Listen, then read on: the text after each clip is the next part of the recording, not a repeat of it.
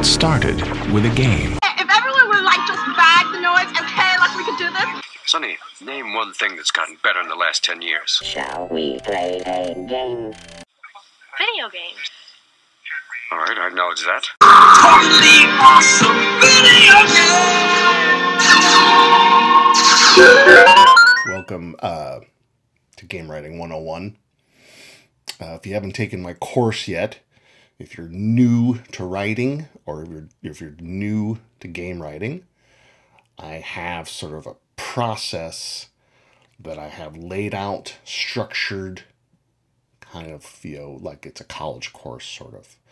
And uh, it's one that will help you create even your own interactive uh, narrative and, and possibly add it to your portfolio. But it just teaches a very basic hands on process for narrative design. Very simple, not the only process, not even necessarily the best process, but a simple process for you to cut your teeth on as you, you know, become a narrative designer and grow and learn from all kinds of other smarter people. But now we're, we're just kind of rapping. We're, we're you're, it's like you're, you're hanging out after class with the cool professor, or maybe even you're going to the local campus hangout with, with some other students and having a beer and, and just talking to the to the cool professor. Boundaries intact, okay, but but the cool professor, and um, yeah, and, and so I, I decided uh, to make a quick video based on something that I saw on LinkedIn. LinkedIn is, uh, at least to me, a very useful uh, thing still. I don't know how every young person feels about it, but it's a great way to keep track of all your work colleagues. And I have found work with people who found me on LinkedIn just searching, and I didn't know uh, prior to that. And um, and I've even gotten you know jobs from people that I haven't heard from or worked with in a long time. I like 2007, 2008, I got a freelance job working on a game based on the movie Cats and Dogs 2. 2. It was really fun, actually. And uh, it was a small studio in a small town in the Netherlands. I actually got to fly there. It might have been my first work trip, but I got to go to another country and work in this game. Um, I can't even pronounce the name of the town to be honest. But I went through customs on the way home, and they're asking me where I stayed and where I couldn't pronounce anything. Um, made me look kind of suspicious. um, anyway, I kind of thought I was just going to be a sort of a narrative guy. They really needed also more some real you know vision behind some of the game design and and and what the player would experience. Uh, but anyway, I worked on that game. It was fun. It was cool. And I'm not kidding. I mean, it made me like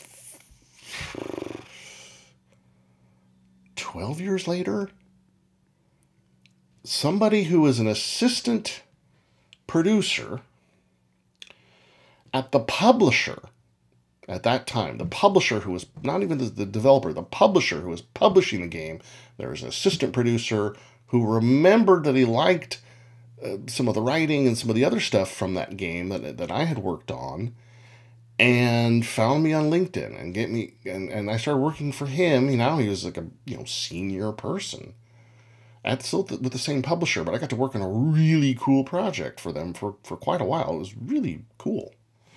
Um. Anyway, I think LinkedIn's valuable, and I'm on there more. And what's been kind of heartbreaking is all the layoffs in the tech sector, as and the and the, and the game industry uh, which hasn't, you know, seen this kind of contraction in quite a while. And, you know, it's it's it's a sobering reminder of how volatile it can be at times. And then to see so many people out of work, so many game industry colleagues out of work, even if I don't know them, right? Because um, you know, my contacts are sharing and and and there's a lot of posts. Uh, and there's a lot of posts uh, from all kinds of game developers, but a lot of posts from narrative designers and game writers with experience who've been laid off. And it's heartbreaking to see their posts. And then, you know, it's been tough. It's been tough to find new jobs. I get the feeling maybe it's turning around a little bit, but um, then you to see these posts where people are like, look, man, you know, like I, I hate to say this uh, in public, but I'm, I really need a job and it's it's heartbreaking. Um, and uh, and then I you know I saw one sort of common complaint, common frustration in in some of these types of posts um, where people were looking at game narrative designer game writing job posts and seeing that even the what what looked to be pretty fairly junior level jobs were asking for like you know a year's worth of experience or one shipped title or something like that. Frustrating. Or at least you know the people who were who were who were venting their frustrations on linkedin they were frustrated. And um, so i wanted to take a moment to talk about that and offer what i hope is some encouragement or at least some insight knowledge is power right and let me you know clarify a couple things. I, am not excusing, you know, your, your, mileage varies from company to company, right? Some companies are very great when, when smart when when it comes to recruiting, and some uh, a little rough around the edges. I'm not excusing anybody's you know individual uh, you know. Um, uh, uh you know, you know, faults or, or whatever around recruiting, but um, I think I can offer maybe some insight just having worked in the game industry. Um, my experience being part of it being a full-time employee at a studio was pretty early on in my career. It was like the first five years or so. And i've been a freelance contractor for for much longer than i was a full-time employee but i interacted with lots of studios when i was with that that first studio in my career i did help with the recruiting and got some insight there and um, so i think what it is is if, you, if, if you're you know having the same frustration you know, first of all, watch my channel because anytime I see like a game writing internship or junior level where they're very specific that this is junior entry level, uh, I'm I'm posting this on the on the channel. You can see it. Um, the, the, posting on the, I, I'll post videos of the jobs on the channel. Uh, hopefully, pardon me. There, um, my chair fell down, sank down QuickTime just crashed on me and the cord fell out of my microphone. All hell broke loose. I don't know what what happened. Um, where was I? I was saying how, uh, yeah, you know, watch my channel. I, I'm I'm posting you know entry level internship game writing jobs whenever I see them. However, anyway, the frustration that I saw people having on LinkedIn were you know um, that even you know narrative design jobs, even that kind of looked like the very very junior, possibly entry level, were requiring you know experience. Like well, you know the chicken and the egg. How do you get experience if every what looks to be an entry level job posting wants experience and you don't have any? Um, and I, and at least the insight that I can give you is this, right? Studios themselves are almost universally places where everyone is sort of uh, overworked, right? There's been a lot of talk about, you know, crunch time and things like that. But even when things are going pretty good, games are just notoriously hard to plan and schedule. Um, game designers and creative directors and programmers, everybody on the team is ambitious. Everybody wants to, you know, put, do great work. And uh, we have lofty ambitions for, for the game. As one programmer put it, um, you, this, little, this was kind of crude, but but the way he we were talking about you know the technical specifications once of the PS2. This was a while ago, and he was saying yeah yeah you know but it's great it's much better than the PS, but we're always trying to put ten pounds of shit in a five pound box, right? No matter how advanced, what he was saying is no matter how advanced you know, the new system is we're always trying to do more than maybe we should. So, at a game studio, it, it, your normal sort of state is everyone's very busy. And everyone's being counted on to do their job and, or, and, and, and maybe wear multiple hats and get a lot done. And so the prospect of training a new employee is daunting and it's daunting for the pe- person running the studio who knows that yeah, at my lead artist, I really I still need them to crank out animations. Or, or, or you know, and, but if I hire, uh, you know, we need another animator. But if I hire an, a junior animator who's really green, I'm going to lose pro- productivity until they get ramped up. But when we're on a tight schedule, maybe I, I, I just can't. They just can't. Like they, it's just daunting. Like they feel like they can't, right? Um. And so and and so you know yeah everyone's kind of busy, sort of overworked, and the prospect of yeah, even even a you know what looks to be like a qualified, talented candidate with like a cool portfolio, but the the prospect of really just kind of getting them up and running and, you know and trained and, and going is is is uh is scary for the studio. And so, so that's kind of what you're up against right the other part of that is you know when uh it's i mean this is just kind of the reality when it is a buyer's market in terms of um, employees. You know, when the when the studios uh, look around and they see that there's a lot of candidates out there, they'll be they can they'll, they'll- can even uh, they'll be even more inclined to have uh, that disclaimer, the job description that says, you know, please have worked on one AAA title, or please have at least one ship title under your belt of some kind. So, uh, because they know that there, there are more candidates out there, and, and, and their chances of getting somebody with the experience that can just hit the ground running with a minimum of, you know, it just could be the difference between getting a, a, you know, a week or two and they're acclimated and they're contributing heavily versus, who knows, you know, a, a month or two, you know. Um, I just pulled that out of my head a month or two. I don't know. You know, for narrative designers, it, it, it might actually, you know, it's different for the different professions.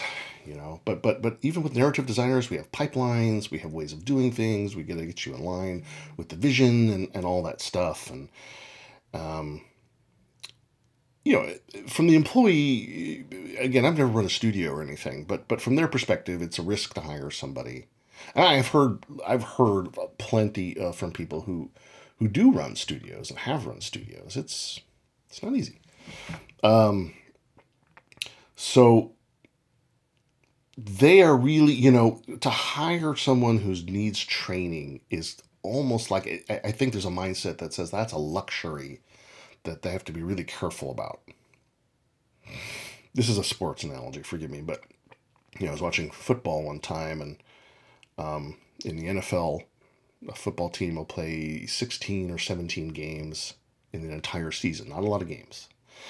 And uh, I, one coach had a saying. He's like, for every rookie you start on your squad as starter, be prepared to lose at least one game. Yeah, I don't know if that's fair, but but it's interesting. So what so what do you, so what does that mean for you? If you're trying to break in, it just you know it means use that knowledge. It means the more you can position yourself as somebody who's like, yep, I haven't had much experience professionally, but I can hit that ground running because I I I, I you know know a process. I've learned a process. I created this interactive portfolio using Twine, and maybe you know if if you get some kind of insight like this studio that you want a job at, I don't know uses Unity. Maybe go and look at, at, at the tools Unity has on their store for um, writing the actual interactive narrative and, and importing it into into their game. I mean, maybe maybe play around with Unity a little bit, insofar as creating like I don't know a text adventure or something. You know, um, so companies like BioWare and Blizzard will have their own internal tools, but often there'll be versions of those tools that ship with their games. So, you know, if you're if you're you know loving um, the latest uh, Diablo game that just came out, uh, I don't know if it the PC version or the Mac version ships with tools that that you can use to create your own you know stuff, but but being able to say, look, I I I I want I really want to work at BioWare, and I've used your tool you know, to create all kinds of cool stuff. And, and so I'm somebody that when you hire me, yeah, I'll need a little training, but I will hit the ground running much faster than you think I will. I, I, I, yes, of course, there's going to be some investment. There's going to be, of course, be some learning curve, but that learning curve is going to be much shorter, uh, shorter, lower, higher. I, am not good at geometry, but uh, you get you get my point. Um, that's the mindset. And I, and I, I take I, I, say that just to, not to make excuses for for this that or the other, but knowledge is power. You know, um, see it from their kind of perspective. They're they're daunted at the prospect of hiring brand new people when they can barely keep up with their own schedule. And uh, and if, if if they think like, hey, this is a time where there's a lot of exp- more experienced candidates out there on the market than usual, then let's get one of those people and uh, and you know if they're fit, then, then we've save we save ourselves some some time, which is so precious. That's it. I hope that that's encouraging because it's maybe really not you know again not you I mean, who knows? Maybe they looked at your stuff and they're like, wow, this person's really good. I wish we had more time to train. I got to keep track of them. You know, I got to send them the, the I got to send them the new the normal formal rejection. But I don't, you know, who knows? Maybe maybe I'll, I'll connect with them on LinkedIn and kind of keep tabs on each other over time. You know, you know, um, I hope. You know, it's, it's still frustrating. It, it, it, like I said, you know, it's positioning, portfolio, persistence I should probably put portfolio first. Portfolio, uh, positioning, persistence. But the persistence part, that could be hard. You get a lot of rejections. But if, if, if, you've, if you've got a strong portfolio that you're always working on, if you've positioned yourself well, and you can see my videos on, the, on both on all three of these, and then persistence, you'll get in somewhere. I, I, I believe that. So um, that's it. That's all I got. I got to go. Um, I'm gonna go play some Zelda. Uh, hope you're doing well. I, I can see that you know when I look at the views for all my videos, at least at least all of my videos that comprise my actual game writing 101 course have been viewed at this point. So it stands to reason that at least a couple people have done the entire class the way that I hoped they would. So you know, don't don't be afraid to reach out. I've got uh, graduation certificates I can email you. Um, so congratulations to those people. Anyway, take good care, and uh, you know I'll I'll be back with another video whenever I have time and I feel like it. See ya.